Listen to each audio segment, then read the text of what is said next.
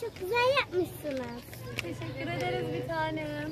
Bir şey paylaşın. Bunun aynısını oraya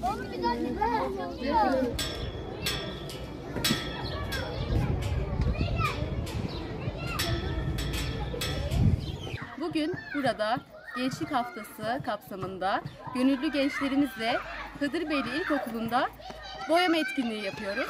Duvarları renklendiriyoruz. Bir şey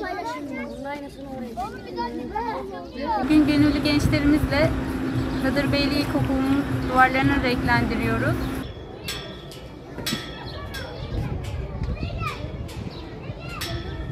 Bugün Gençlik Haftası kapsamında Aydın Gençlik Merkezimizde resim kursu öğrencileri ve üniversite öğrencilerimizle birlikte bu ilkokulun duvarlarını renklendiriyoruz.